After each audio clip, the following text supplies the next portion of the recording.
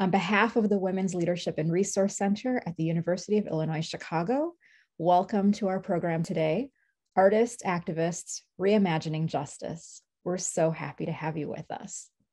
A little bit about our program. This Women's History Month, WLRC, is hosting dialogues with artists, activists, and educators to explore socially engaged, community based work and consider questions like how do women and gender nonconforming artists who are Black, Indigenous, and people of color decide to use their creative skills to bolster social justice movements? How does their work engage racial and economic justice to imagine new possibilities with and for their local communities and beyond? And how do they bring this work into the academy and vice versa? We're thrilled that you've joined us for our first dialogue today, and we hope that you will also join us for our second dialogue with artists Quendaline Barrett and Jian Lee on March 31st. We'll put the link in the chat for that, uh, the link for that in the chat in just a moment. Our presenters today are Aram Han Sifuentes and Lisa Woolfork. Aram Han Sifuentes is a fiber and social practice artist, writer, and educator who works to center immigrant and disenfranchised communities. Her work often revolves around skill sharing, specifically sewing techniques, to create multi ethnic and intergenerational sewing circles, which become a place for empowerment, subversion, and protest. Solo exhibitions of her work have been presented throughout the country, including at UIC's Jane Addams Hull House Museum, and she has won numerous fellowships and awards. She earned, she earned her BA in Art and Latin American Studies from the University of California, Berkeley, and her MFA in Fiber and Material Studies from the School of the Art Institute of Chicago. She is currently an associate professor adjunct at the School of Art of the Art Institute of Chicago. Lisa Woolfork is a sewist, podcaster, community organizer, and scholar. She is the founder of Black Women Stitch, the sewing group where Black Lives Matter. She is also the host and producer of Stitch Please, a weekly audio podcast that centers Black women, girls, and femmes in sewing. In the summer of 2017, she became a founding member of Black Lives Matter Charlottesville, which protested against the white supremacist insurgency that had taken hold of the Virginia city. She organized in a variety of ways, including nonviolent direct action, working with a bail fund for activists, sewing for a creative arts team, and co founding a media collective. Practicing the unlikely but not unprecedented mix of needle arts and Black liberation, Lisa's sewing and quilting practice operates alongside her scholarly inquiry as an associate professor of English at the University of Virginia. Lisa also offers courses in the fields of Black liter literary and cultural studies. So I've, excuse me, I've asked Aram and Lisa to begin by telling us about their journey as artists, how they got started, what some of their major projects have been, their paths to activism, and some of their influences. So, Aram, I'd love to start with you and I will hand it off to you. Thank you so much for the introduction. Uh, let me share my slides. Great. So, yeah, thank you, Ramona, for the introduction. And thank you to UIC's Women's Leadership and Resource Center for the invitation to speak to you all to, today. And thank you all for making the time uh, during your lunch hour to come um, yeah and and it's such an honor to be here with lisa today who i greatly admire um, so my name is Aram Han Sifuentes. I use she and they pronouns. So I'm, as Ramona mentioned, I'm a fiber and socially engaged artist, educator, and writer. And really at the core of everything I do, my goal is to disrupt, unsettle, unsettle, and rupture dominant narratives to assert, demand, and claim spaces for those who are commonly other, particularly for immigrants of color. So I work to center immigrants and to center people of color to tell our own stories. So a little bit about me is that, um, and how I came to fiber is that it became my medium as an immigrant and as a daughter of garment workers. So at the age of six, my parents, that's the year we immigrated to the United States, my parents started working in dry cleaning and my mom is a seamstress and tailor. So at this young age of six, I learned how to sew. And it is from this very beginning that sewing has been political for me and linked to my identity and that of my family as working class immigrants of color. So a couple of projects I'll show you guys um, is yeah, I'll just jump into this. So, with a degree in ethnic studies and with a concentration on immigration policy, I use art as my tool to oftentimes think through civic engagement and what that means for disenfranchised communities. So, for example, one of my projects, the official unofficial voting station, Voting for All Who Legally Can't, creates symbolic voting opportunities for the 92 million plus million people who can't legally vote in the United States during the general elections. And for this project, the Protest Banner Lending Library, which I started in 2016, I started this project from thinking through how protests are oftentimes not safe or accessible for certain communities, certain vulnerable communities. For example, many who are non citizens or undocumented people fear getting arrested at protests, which could greatly compromise them being here and staying here. So, since 2016, I've been um, creating these workshops that are free and public, right? Protest Banner making workshops. And uh, I also run these physical lending libraries of donated Protest Banners. So the workshop skill sharing component has become importantly pedagogical. The workshops and the space they create address people's immediate desires to create banners for themselves and others to use in protest. it also places the skill of making protest banners in the hands of participants. Um, so teaching people how to make them is very important for this project. Obviously, when we're thinking about revolution, it doesn't end with one banner, needs to continue, right? And so these workshops have become such an important part of my practice because it is where I feel nourished. It's important to me that um, it's also important to me because in many non-Euro Western cultures, art is made collectively and not by an individual. So making art together creates spaces for our knowledge connected through lived experiences to be shared and uplifted. So there's more than 3,000 banners that have been made in workshops, um, and there are protest banner lending libraries in cities all over the United States and internationally as well. And it is an active, ongoing project where banners are constantly being made, circulated, being checked out, used, and returned. The words of these banners have a growing history. They're made by someone, they're used in a protest, returned to the library, and then so- taken by someone else to a different protest. The banners carries the histories of the hands that's made them, hold them, and the places where they have traveled. So actually one second, I believe I might have not shared the sound for this. There we go. Awesome. Just wanted to make sure. Okay. So from that project, um, the Protest Banner Lending Library came a more recent project called the Protest Garment Lab, which I'm really excited to share with you guys today. So I'm going to show a couple videos um, and I'll stop them kind of short just so um, I don't run too long on time.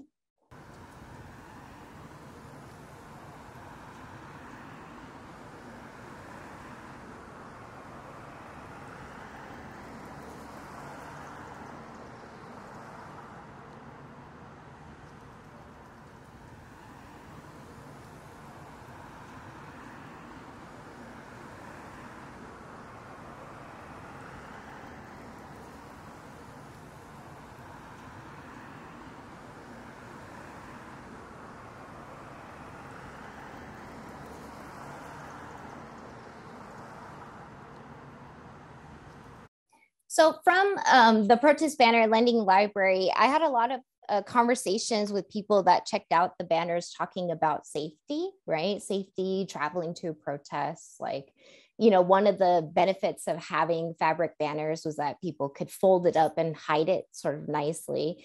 And these moments that people would talk about where they would uh, open it up and that being this really transformative moment. And so I kept thinking through that more and thinking about garments um, and how we could create um, these garments that have hidden appendages or pockets that can open up and become protest banners.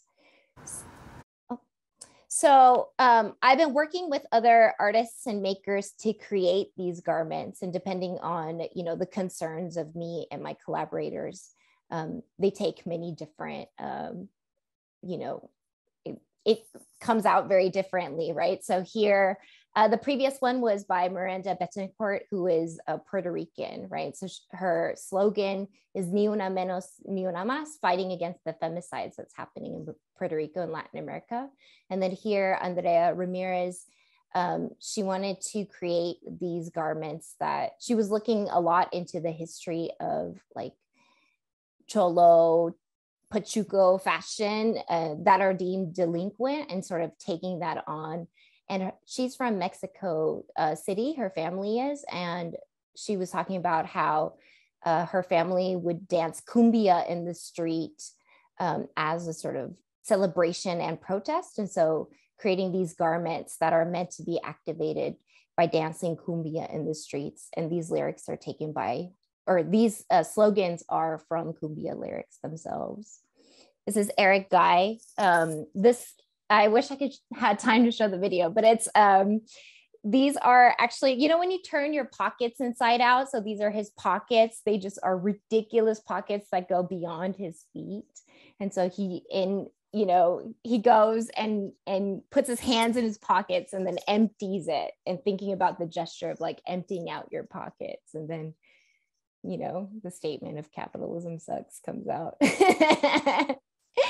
and um yeah and so really this body of work is being made to protect the wearer of the garment to highlight this moment of transformation and to embolden the wearer of the garment so for this body of work I have so far uh, worked with multiple other artists to create more than 16 garments since this ongoing project. So I'm going to show a little bit of this video because um, I'm afraid I don't have too much time, but um, here we go.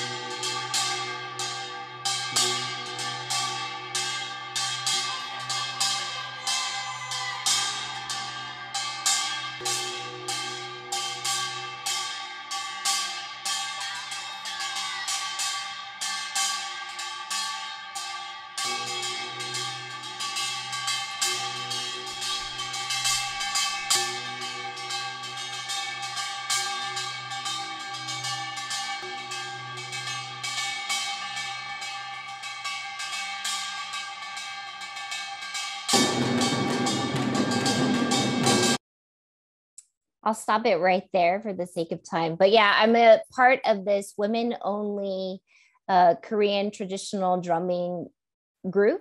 And we're all activists and organizers uh, fighting to end gender based violence, for economic justice, fighting for immigrant justice. So uh, we oftentimes also drum at protests. And so I wanted to create garments that we can activate while drumming. So was excited to share that with you.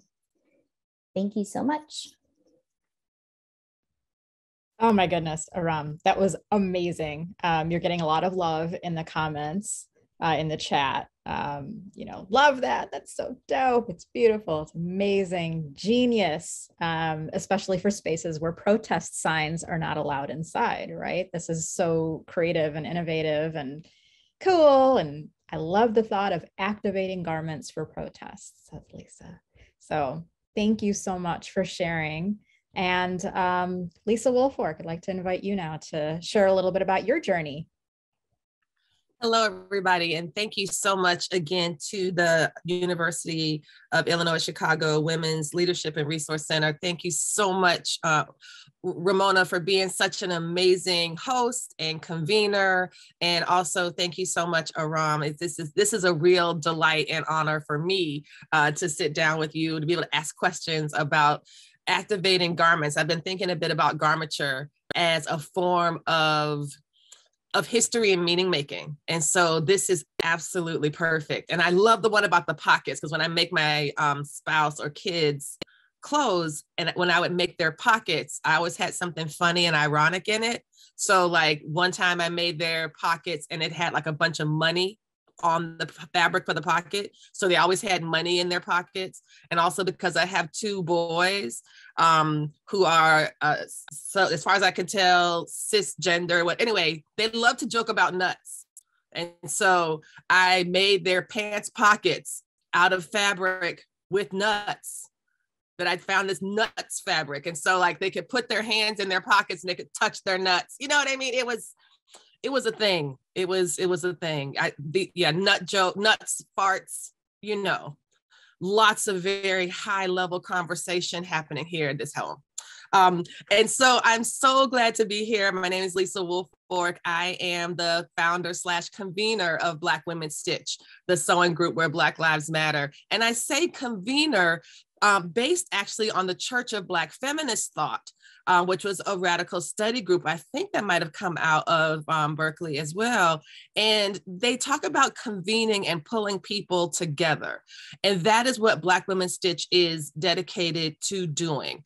I am not trying to be representative of all Black women in sewing. I want to be a resource and I want to be someone who pulls us together and celebrates, uplifts, and talks about our varied and very rich stitching history and traditions. And so Black Women Stitch started not just, it's, it started as a project in 2018 um, it's so it's a rather it's rather new, but also incredibly heartfelt. I am a fourth generation, so it's my mother sewed, my grandmother sewed, my grandmother's mother sewed. And when I was a kid, I wanted nothing to do with it. I was not interested. I was terrible. I was like, why do we have to have made clothes when we could buy them at the mall? You know, just, you know, kids, horrible. Um, but I started to realize once I was in graduate school about what it meant to self-sustain and what it meant to have a um, a hobby or a craft practice an art practice that could be self-sustaining self-reproducing self-reflective where that you could make things that you could wear on your body um, as a way to just fortify aspects and elements of your life. It was a wonderful um, hobby. It was um, therapeutic, not therapy. I know there's people that say sewing is my therapy therapy is my therapy. Sewing is sewing. Um, it has lots of therapeutic elements um, but it's not it's not in my opinion substitute for a trained professional. Um, but one of the things that has been so exciting about the project is that i have been incredibly vigilant about centering uplifting noticing and just praising Black women in this sewing tradition. And so I wanted to share just a very short video. Um, it's, it's, just like one minute, a one minute long reel about Black Women Stitch that Virginia Public Media uh, recently did as a kind of a compilation of some of the stuff that I'd already done, because it kind of gives a nice overview. And then I'll talk a bit about where the organization idea comes from and about the podcast and other aspects that we've been doing um, in the last you know, a few years since we've been around. So I'm going to share my screen. I believe my sound is shared. Um, and we will, yep, share sound. And I'll even say optimize for a video clip. And this should be good to share. Is this something, can everyone see okay? Um, I see some nods, okay. And then we'll hit play. Black Women Stitch is the sewing group where Black Lives Matter. It's an opportunity for Black women who sew, quilt, stitch, or otherwise engage in needle arts to come together in an environment that allows us to be our whole and full selves. If we imagine our lives being full and total and free, it becomes really important that we're able to engage in leisure, recreational activities that are meaningful. And so when we start to look back at the stitching traditions of Black women, you can find quilts going back to the 1800s and sometimes even the late 1700s. It's nice to know that what I'm participating in is the same craft that my grandmother did, and that her mother did. And so it's really nice to know that we are all part of, as what Jen Hewett says, this long thread.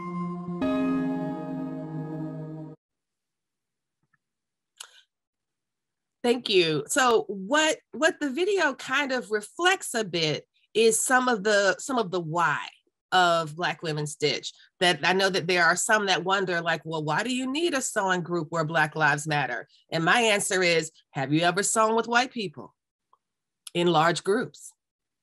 Um, I have, and it is not as fun as it could be.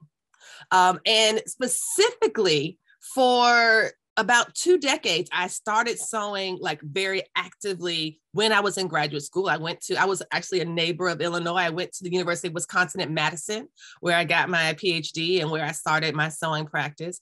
And I apprenticed with a quilter, a white quilter, and she was nice. And I learned a lot. I took a lot of classes. I got very into it and I got accustomed because of where I was in the Midwest of being the only Black person in the Quilt Guild, the only Black person at a particular retreat or an event, um, and often the youngest person. And that continued all the way until I started um, here in Charlottesville and as, as a professor. And it just was a very Anglo, very white, um, and um, higher in age demographic.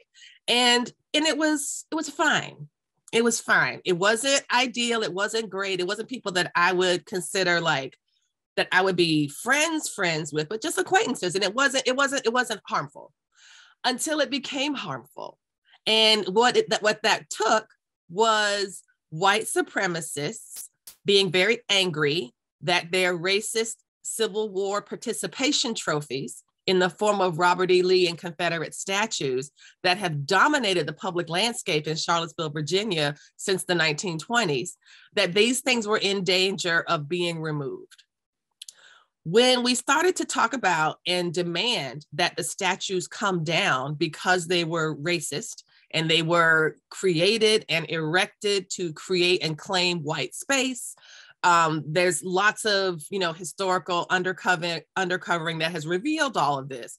Um, that this was this then became the site of the largest white supremacist rally in to date um, to up to up until 2017 um, and so in what folks what many folks don't know is that we had an entire summer of white supremacist rallies. We had a little short one in may which was the first fire rally um, that took place in the public park where lee where the lee statue was situated right across from the public library where i would take my kids.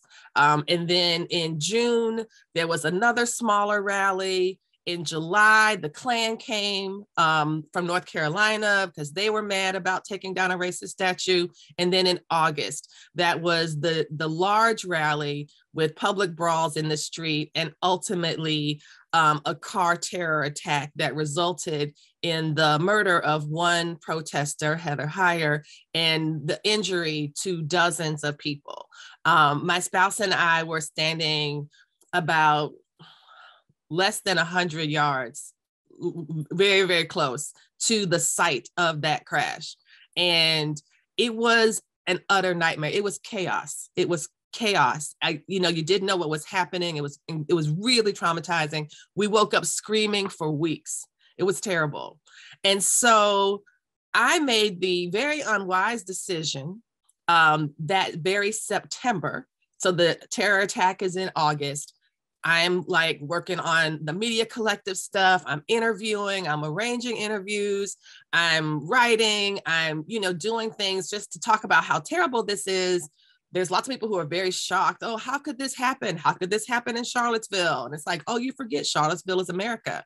Um, and so I decided to take a break by going to a quilt retreat in a city that wasn't in Charlottesville. It was like a little small town, maybe an hour away. And again, I had been stitching with these women for about 15 years. Um, they had they when my father passed away suddenly, they made me a quilt. Uh, when my baby was born, they um, sent cards, you know, those kinds of things. And when but when I went there, as a member of Black Lives Matter, as someone who had recently survived a terror attack, um, they were not, they were, I think what were they were. They were disturbed. They were, some were concerned. Oh, I heard that you were there. What was that like? I was like, oh, it, it was, it was awful. You know, I don't, I don't really want to talk about it. Um, and then the organizer of that event made an announcement, not in my hearing, that Charlottesville was not to be discussed. It was not to be discussed or mentioned at all. This was not for my benefit. This was for their comfort. Later on, when I got home after the event, you know, I, you know, survived and went home and, you know, I finished my quilt projects, everything was fine. But when I got home a few days later, a an envelope with my name and address and nothing else in it but my check for the future event. There was another event that I'd already paid for prior to all of this. And that check was returned to me, which was a clear signal that I was unwanted at the next convening of this group. Silly me thinks, oh no, something has happened. Maybe the event has been canceled. Let me check. So I called someone that I was friendly with and I asked about it. And she was like, no, I don't think the event's been canceled. I was like, well, I'm clearly not welcome. This is why my check is in my hand and not at the bank. Um, and she said, Well, I don't think that this person is prejudiced. The only thing I could think of is that you broke the rule and talked about Charlottesville. That's the only thing I could think that you might have done wrong. And I was just like, after that, it was done. I I was in, I was so sad because I really enjoyed the time. I enjoyed that. Um, I enjoyed just going to sit and stitch. Right. I, I blocked out a lot of things. I blocked out a lot of microaggressions. I blocked out a lot of comments and questions that were completely inappropriate. Um, I would have conversations with women who were my mother's age about what racism was. And I'm like, why am I talking to this complete white adult who lived in the same South as my mother lived in and doesn't know what racism is? I will not. And so it became important to me. Yes, it became important to me to have a conversation and to recalibrate everything. And so I recalibrated it in the love of Black women and in centering our stories and in essentially in building what I needed. I was able to convene not just um, uh, an organization basis, but also a podcast that has reached up till now about 300,000 downloads, um, 115 episodes. And every week we are talking and celebrating and uplifting creativity, projects, sewing, quilting, and through the lens of Black women. So that's what that's my intro. I don't want to go over too long. I know we have um, a limited time to talk. And so I'm happy to answer more questions if there are any available. I can also talk about the course that I'm teaching that brings in some of these same ideas. Um, so that's me. Thank you. Amazing. Thank you. Thank you so much, Lisa. Um, and there are a couple of comments in the chat. Uh, what a beautiful remaking from an ugly episode. Um, oh, Lisa, I've never heard, I'd never heard the story of, of that retreat and the return check. I'm so sorry. Um, and I agree. And some love for your podcast. Um, so, oh my gosh. Okay. So I want you all to know that Lisa and Aram and I talked the other day and it was meant to be a prep call for this session. And it turned into an entire conversation between the two of them. I had to do nothing because these two have so much to talk about. They're so excited to learn more about each other and share more about what they're doing. So, even though I have questions, I'm going to ask you both before I even ask anything. Do you already have something that you want to talk about? Because I know I want to hear a little bit more about how you did end up finding your community and who your people are and how you bring people into the work. Because um, I feel like that's a little bit of a natural progression from what you've just both been talking about. Um, but also, I know that you're really excited to talk with each other, and this is a dialogue. So I open the floor to both of you to have at it. I want to I want to throw a great question. Well, this is a great question, but a question I'm so excited with for Aram. I really appreciate the way that you have imagined communal art practice and put that together as a form of pedagogy. I think that is incredibly powerful. And it is such a great reminder, too, that what white supremacist patriarchal capitalism wants is us to work in isolation right? That we're meant to just be one person who has to struggle really hard to figure out how to fix things, and then you don't get anywhere. But if we remind ourselves that really community should be the default, right? Um, and like, you know, the we keep each other safe type idea. I wonder if you could talk a bit about a bit more about that and like what some of the what some of the things that you've discovered and how you might have deepened that particular part of the process that that collective let's sit down with you know some you know some yarn markers iron thread whatever to make this thing. I i really love that. Yeah that's a really great question. Um yeah i do feel like we have so much to talk about. So i'm excited. Um yeah the communal part of uh, my practice which is essentially most of it um it's so important to me in so many ways like you said because that's that i think is so central to fighting the oppressive powers right? Um, and so for me with all these projects where i have multiple collaborators i see it as coalition building right? So like how do we come together?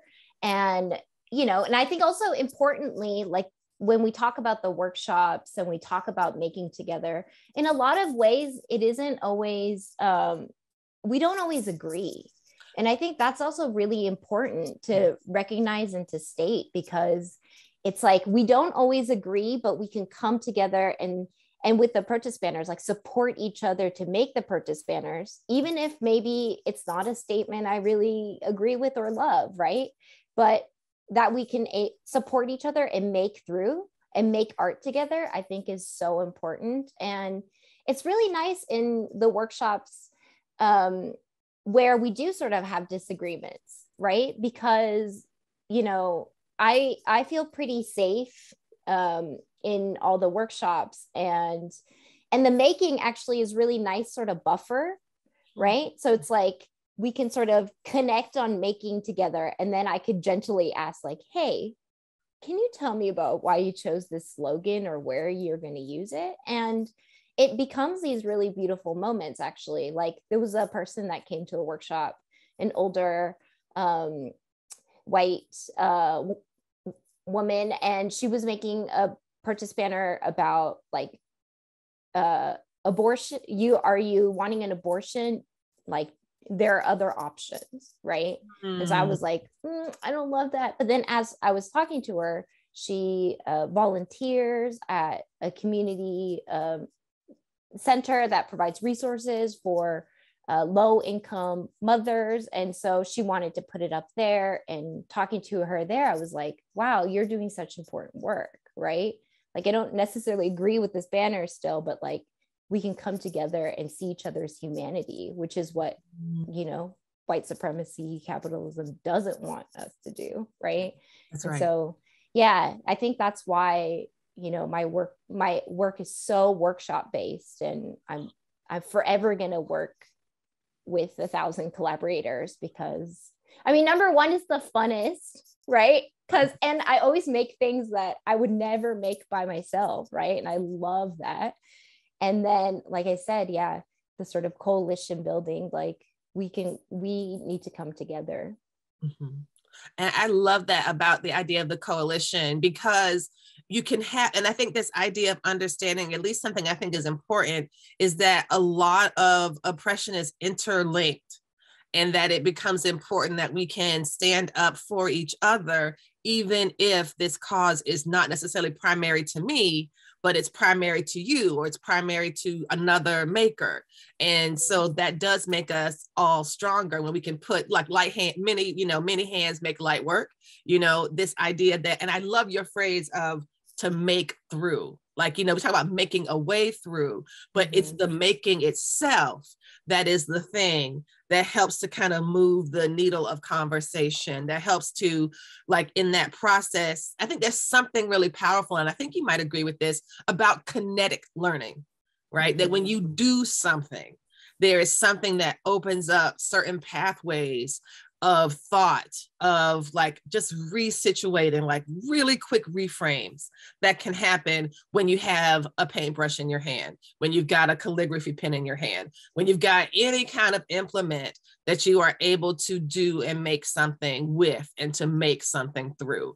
I think that's really very powerful and that kind of collective idea that collaborators need not share like in terms of the, the, the granular level of things that they might agree on, but at least at the broader level that there are certain things here that are broken that we can work to repair together.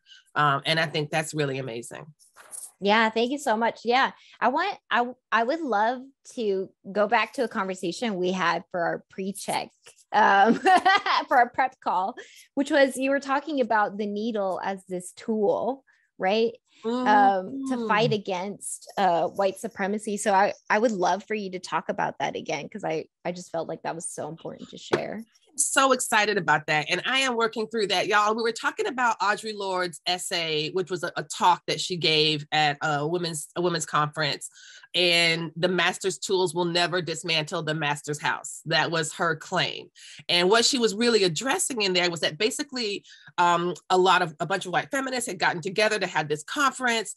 Um, there were like no black speakers. They found her at the last minute um, and so she kind of talked about like, hey, if we're going to be in these institutions, we sh- we shouldn't reproduce the same tools that we are fighting against. Like the goal isn't to become like you know to have more women billionaires the goal isn't to have more you know be saved through black capitalism right and so i started I, we were in a class and i started thinking we talk about master's tools, master's tools, master's tools. And our very first activity in the class actually was to study a calligraphy nib. And a calligraphy nib, which we think of as fancy high style writing now, was just how they wrote back in the 18th and 19th century. And so the, the, the calligraphy nib has a vent. And there was something about that vent something about the idea that a nib could breathe, that it requires pressure to release its ink. And, and the gesture where you drag your the, the point through the ink that has been breathed out. So we spent a lot of time talking about that. And we talked about how through the stroke of a pen, people's lives were completely destroyed. Um, not just through treaties, that were written and broken, but also through um, the violent grammar of repetition, the ditto mark, right? When you look at a ledger of enslaved people, it will be this long list. It'll just be ditto, ditto, ditto, ditto. That that person's human value had been recorded in an accounting ledger as just two quick lines. And so we start, I started to think about, well, notwithstanding the fact that there is somebody somewhere out there, you know, hand sewing Nazi flags and Klan robes, what if we were to think about the needle and thread as something that was not a master's tool? Mm-hmm. What if we were to think about this idea of stitching, of, of what it means to put needle and thread to fabric as a way to dismantle some aspect, some element of this system that seems so total. Mm-hmm. And it feels like when I look at your banners, when I look at the the person turning their pockets inside out and saying capitalism sucks, right? That this seems like an illustration of how stitching can be used as an alternative not just as building kinetic knowledge for liberation or thought practices that exceed the boundaries of capitalism, but also for creating particular material resources that can be used to indict that struggle. So that was where I was heading with that. And I was just, I'm just really, I'm still playing with this idea, but it connects to a larger theory I'm working on, which is called for crafting like forecasting, but it's for crafting. And this is based on some of my work with Sally Hemings University as an idea of what happens when you have a Black woman, you have a marginalized woman who is able to imagine freedom for her descendants and future possibilities for her descendants that she herself will never enjoy. So, for those who don't know the story, Sally Hemings was an enslaved girl um, who was uh, a sexual um, concubine, raped by Thomas Jefferson. They had about five or six kids. Their relationship began when she was 14 years old. And when she was in France, she was free. She was a pregnant, a pregnant teenager in France, and she doesn't want to go back. And Jefferson has to lure her back to Monticello. Um, and part of that bargain, and her son says that they struck um, that that that Hemings was able to negotiate negotiate extraordinary privileges, which meant that any children that she and Jefferson had would be freed when they reached maturity. And that's a promise Jeff- Jefferson kept. Now, Hemings was never freed, but mm. the children were. And this, and, it, and I was, I, I started pulling on this thread, upon, I started pulling on this thread when I looked back at the Old Testament in the, um, in the Christian Bible, looking at Moses and his mother, that Jochebed, his mother, had to send him away, to send Moses away to build that what's even called now a Moses basket. She we she weaved this basket for him because she knew that getting rid of her baby, pushing him away from her, was the surest path to saving his life. Hmm. And so, and I think also about um, I think Ashley Sack the I think the book by I think it's Tanisha. I can't think of the historian right now, but it's called Ashley Sack. Um, this book, and it talks about this enslaved woman who was being sold away from her daughter, and she took a flour sack and wrote and stitched her name on it. You know, here is this is this has my, all my love for you. Take this and take it with you. And that there's a, there's a beautiful story. I think that I think it won the National Book Award last year. The story of that sack, which is currently in on permanent loan from the plantation at which it originated. Um, for, uh, at the National Museum of African American um, History and Culture right now in DC. So that that we have evidence of that. So um, I'm not sure if that's really like an answer, but I would, but that's what I'm thinking through. I'm thinking mm. through the idea that these women uh, were able to create. Yeah, thank you so much. Uh, thank you so much. Tiya Miles um, was able to document, and we can look and see that despite all the master's tools, that bag is still there. Those mm. stitches are still there. Sally Hemings' children were freed you know and so there's something about that. There's something about that needle. There's something about that thread. There's something about that that i find maybe we could even call it what harriet jacobs describes in her memoir or her slave narrative um, a loophole of retreat. Mm. like how do we duck? You know like how do we like navigate through this such encroaching and powerful system you know, and that there these there these little moments of possibility. And that was what I was thinking of when I was thinking about stitching as an alternative to master's tools. Yeah, that's so beautiful and so powerful. Yeah, and I and I just I keep thinking about yeah, like how powerful sewing is and how to verbalize that, right? And so yeah, I think there's something to so powerful about the ways that you're talking about it. And it resonates for me too, because, you know, yeah, coming to the United States, my mom having that skill of knowing how to sew and that being sort of an economic, you know, access point for her. Right. And so, um, you know, interestingly, my mom was an artist and art educator in Korea, but when coming here, um, and she's a painter, being unable to um, do that, but being able to, you know, sew to make a living for the family. And um, it's, yeah, it's interesting too, because my mom, you know, has sewed for like 27 years at their dry cleaning store. And when I told her that this was my art practice, she actually cried and was like, I sew all day long so that you don't have to do this. Yes. Right. And so, like, thinking about that resonates for me in that way as well. Right. Yes. It's like, yeah, um, it's such a powerful tool in so many ways that I think, yeah. I, I love that because that's that was one of the things I was going to ask you. I feel that sometimes when we, I love the work that you're doing with garmenture. I love this idea. I think it is so radically powerful. And I also recognize what your mother is describing because I'm not sure if you run into this. If we talk to fashion folks, if we talk to designers, if we talk to or about that, or even the higher, the higher up you go in the chain of fashion or haute couture, when it comes down to the sewing, mm-hmm. it feels as though we and that particular labor gets reduced to mm-hmm. as if it mm-hmm. were nothing. Mm-hmm. Right? The, the designers are the ones with the vision.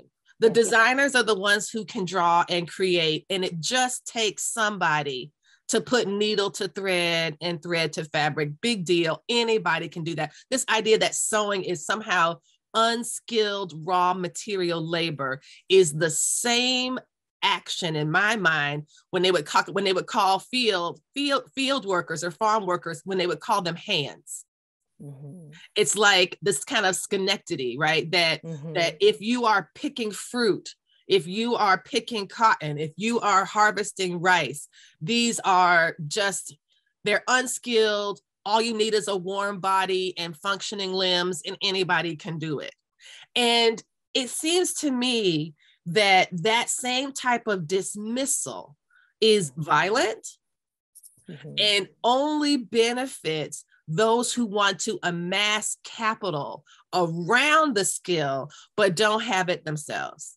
Mm-hmm. And this idea that somehow sewing something I know, it just feels like that dismissiveness, this idea that it matters not at all, right? That it's it's just it's just a hobby. It's just a it's just a thing. It's, it's the same thing with like if anything that women do, if women do it, therefore it, it automatically has less value. And I was wondering like how you like would respond to some of those critiques because I, I find it very frustrating to talk about design or to talk about fashion or to talk about you know the, the structure of these amazing and wonderful garments um, this kind of i don't know the idea that somehow the sewing of it itself is is minimal um, as if somehow I don't know. There's something about that that I just always find really off-putting. You know what I'm saying? I don't. That, I don't know if you've yeah. ever run into that. Yeah, all the time for sure. In many different ways, you know, like you're saying, you know, it it gets um first of all, no one knows how long sewing takes, right? Even us sewers, like I'm like, I I'm gonna it's gonna take me this amount of time. And I laugh because I still am like off by so much. I underestimate so vastly, right? Because it takes so much time and so much skill, like you're saying, to be able to do that. And yeah i think i see it in many different ways in the you know in the fine art worlds right? Like um you know sometimes i i vent to my people that are close to me that i feel like sometimes i get punished for making my own work right because like institutions are like you need to crank this out now with this kind of budget. And it's like no i i we can pay someone to produce it and maybe it could work that way but they are never willing to pay for like the time that it makes me takes me to to sew and produce my own work. Right? And so that i vent about you know and yeah like you're saying as well like you the words that we use around sewing is so violent you know the unskilled labor or like invisible labor right? I'm like who's it invisible to right? Who's it invisible to? You know it's like you have to actively not see it and then it will be invisible. But yes. yeah and yeah like you're saying too like you know these these the designer the artists like um and all the people that they're hiring don't get acknowledged and like who are actually doing the work and the sewing work don't get acknowledged or they're unnamed and i do feel like it becomes really violent in so many ways. Yeah i think this yeah it's interesting that like it's yeah it, i mean it's not interesting because like throughout history it's been exploited like sewing practices and textiles have been exploited and it's and it's such a violent history you know? And so it also surprises me with the story that i mean it doesn't surprise me but you know with the story that you're telling of of you know how people push really hard to try to make sewing not political but don't recognize that by doing that it that's very political right? Yes. Yes. Yeah. yes. Oh stop harshing my hobby. I don't want to have to think about you know where this was made or i don't want to think about um you know politics keep your politics out of my quilt or whatever. I mean I mean, the idea that you can think about somebody's racial identity as a political issue mm-hmm. is from is the perspective of, of, a person who has never had to think about their racial identity as compromising anything about their life. Mm-hmm. And so, and, and I think that this age in which we currently live, this really aggressive avoidance of racial accountability for white people yeah. You know, like, I mean, where I'm living right now in Virginia, we just, um, the governor just passed a law about divisive concepts. And divisive pretty much means anything that makes white people uneasy. Right. You know, and like they are banning books and a hotline to report teachers. If you hear a teacher talking about race, therefore you can go report them because one thing we can never teach in Virginia is the 1619 project, which started in Virginia, right? Like, I mean, it's just, it's appalling. It's absolutely appalling. And and I think I see this as like the death throes of these people. You know, this is like, you know, their last gasp and grab, you know, for completely rewriting American history. Um, but the truth is out, you know, mm-hmm. and it's very hard to put the truth back in once you, once it's been out. Uh, and so I I just I just feel as though it can be difficult to acknowledge that that you've harmed someone maybe i mean i don't know i actually honestly i don't spend much my much much of my time thinking about those people um but because you know i've got like way better options now but this idea that what we are doing is somehow um taking things too far Mm-hmm. Right. Um, and I think that that is the thing. It's like, I want to take it all the way. I want to take it all the way until we got all the freedom, all the liberation, and we don't have to talk about it anymore. I think that anybody who has ever made a protest banner, anybody who has ever created a slogan for an organization, anybody who's tried to work up some really catchy and memorable chants and songs would like to not have to do that Mm-hmm. Right? If the world was habitable and livable, we would not have to do these things. Mm-hmm. And we, but we do them to create space for that type of habitability. That's why we do it. You know, we mm-hmm. do it to show that there is a distance between where America says it is and what America says it does, between its promises and its practices yeah i mean it's interesting even listening to the words that you're using right because it's like this avoidance of politics becomes you know the defense becomes about white people's comfort. And i think about that word a lot and in the violence of that word. I mean yeah. in particular also i'm like closely working with you know organizers and activists around comfort women justice right? Where you know more than 200,000 um, women all over Asia and beyond were forced into sexual slavery by Japanese imperialism, yes. right? So like, and that has no hasn't really been acknowledged. There is no justice.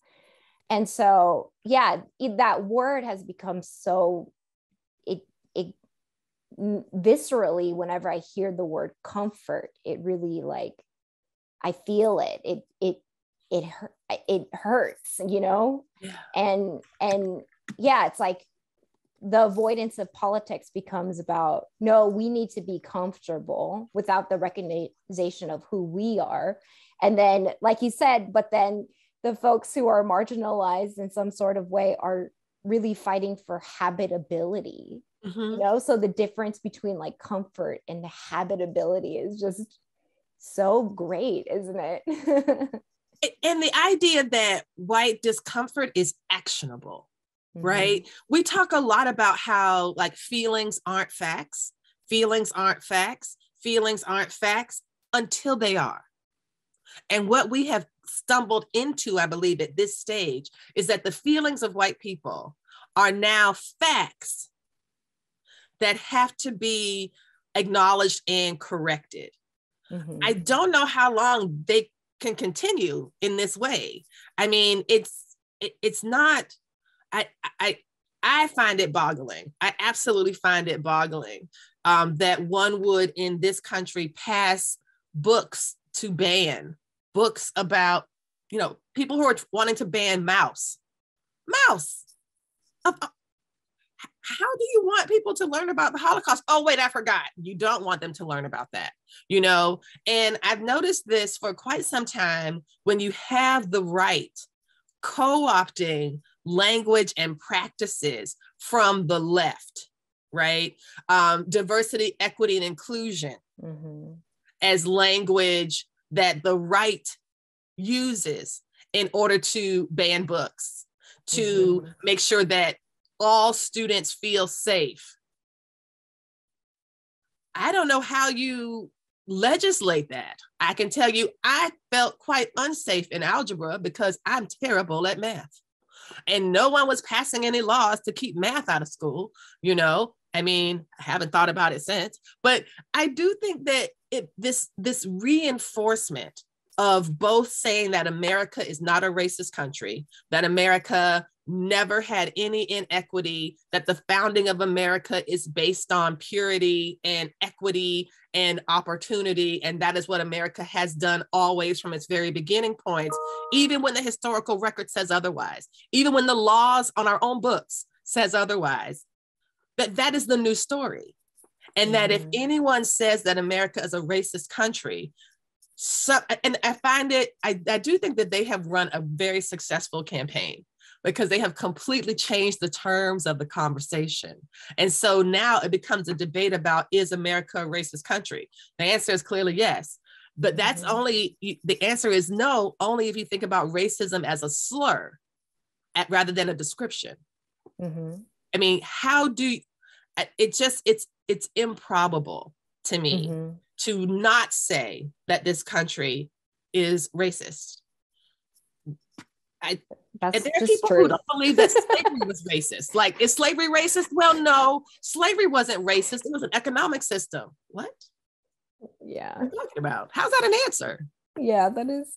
I do feel like this sort of defensiveness and, you know, reinforcing of white supremacy happens a lot in sewing uh, communities, particularly, you know, in the United States and and Europe, right? And so, yeah, I I you know, hearing your story, it's I feel some I have definitely a lot of similar stories I could share, but I do feel like they're they're oftentimes very hostile spaces for me and yes. You know and i think you know even you know we were talking in the prep call about you know this being people's hobbies and um, and certain artists saying like they sew and then the sewing becomes a conversation or like i it, this took me a long time to make so this work is about labor. And then being like no actually that's about leisure because like when we look at like what my mom does that's sewing yes. for labor so yes. how is it so disconnected or like you know, sewing being and quilting being looked at as women's work, but we never talk about which women are we talking about and which histories are we really holding on to and romanticizing, right? This like really Victorian, like old school, like white women at home sewing for their families and like, you know, that being the narrative. And it's just like, how far do we have to go back and like, why are we being so blind to like who's actually doing this work at this very moment? Right. Absolutely and I think that the, the, the project "Who Sews Your Clothes," I think is absolutely getting at that. I think that, and I'm not sure if it's part of Fashion Revolution. I'm not sure who the the um the curator of that project is, but what they do is they talk about fast fashion and how dangerous it is, how harmful it is, the human cost of it, as well as the environmental cost of it you know and the idea of who made your clothes is something that is absolutely worth um worth thinking about right because what we do is we we think about this all the time and the idea that some people get to have this as their hobby their leisure just for fun and that other people are doing this you know, under really harmful conditions, uh, with limited resources, with not as a form of their own personal creative expression. I think that these two ideas often work in tandem. Mm-hmm. Um, and that the folks who are kind of like dismissing or to push away or completely ignoring that everything in this country is political loaded in some way. There are no clean, neutral spaces that politics or the discomforts that come from living in a white supremacist patriarchal capitalist society it shows up everywhere everywhere even in our most at the doctor's office at the at the temple synagogue church wherever you go those things are there. And it takes deliberate effort to notice them and to mitigate their harms or to step completely outside them and, and not engage at all which is something i'm trying to do. Yeah that's that's hard to do. Yeah for sure that's why you have to do it with a group. Yeah that's right. That's right. Or create your own group that yes. yeah. Yeah. I think um do we have any um questions from folks here? From the audience? Thank yeah, you all so much for being here and for your amazing comments too. Yeah, thank you so much. I've been reading them as often as I can, and it's been really great to see. We have kind of a small group here right now. So if anybody would like to come off mute and ask a question, please, please feel free. I think, I mean, I, I can speak for myself only, but I'm imagining that everybody is experiencing this similarly to the way that I am, which is just sitting back and enjoying the conversation and really just wanting to know what you have to say next. Um, but please, if there is anybody, um, otherwise, you know, please feel free to continue chatting. Well, I am Lisa Rice from Washington, D.C., and I'm a fangirl of Lisa Woolfork. Hey, Lisa. Uh, hi, sweetie. Um, I wrote in the comments, and I don't know if Aram was able to see it, but um, I, I did not know, Aram, that you are Korean. And so I did not know what the conversation would be like and I have been immersed in Korean culture um, since second grade, and I'm a Taekwondo instructor, and my son is a third dan. This is very much part of us. And to have the two of you here, like I'm starting to tear up because because so often we can't, you know, we can't appreciate both cultures and if you're pro Black, you have to be anti Asian. And if you're pro Asian, you have to be anti Black. And that's not the way I lived. It's not the way I raised my son. And so I just want to say, coming here today when I was expecting, I don't know what I was expecting, but I just came because Lisa makes me do stuff. Um, I just posted it. I Glad know. you're here.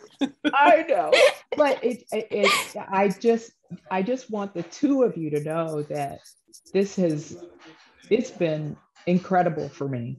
And oh my God, the protest garments, watch out. Yes. Watch yes. the F out. I'm already thinking about dresses that need pockets that go beyond the floor. Uh-huh. like some really nice baggy cargo pants. Like you could do a lot. You put the little bendy things in one of the outside snap pockets. Like there's all sorts of stuff. Yes. And uh, yeah, I love that. I'm, I'm just going to respond real quick and let uh, Aram respond to.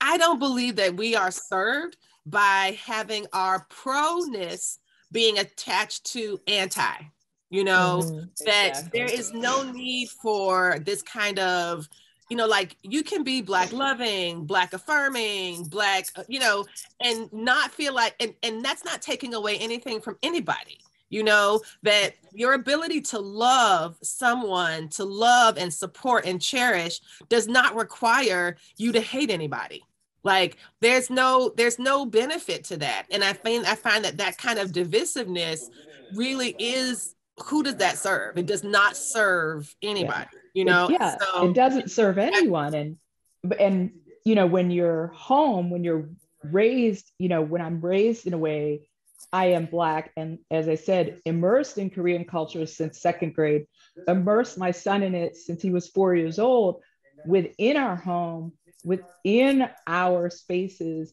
that is part of who we are. It's just this outside world, you know, and you were talking about yeah. how supremacist culture wants us to devote that energy uh, to fighting all that crap on the outside so that we can't flourish. So right. I just love you both. Lisa, you know I love you. Aram, you're lucky I don't know your address because I'd start sending you love notes. So Thank you both. I'll message it to you. I love love notes.